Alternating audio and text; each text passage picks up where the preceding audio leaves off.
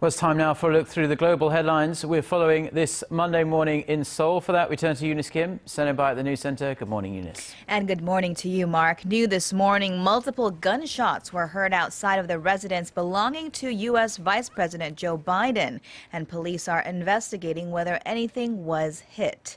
The Secret Service said the shots were fired around 8:30 Saturday evening local time on a public road several hundred meters from the secured perimeter of his Delaware Delaware home. Now, soon after hearing the shots, Secret Service personnel saw a vehicle drive away at a rate of speed. Reuters reports Vice President Biden and his wife were in Delaware at the time, though out for the evening. Police arrested one person about half an hour later when he tried to pass an officer securing the area.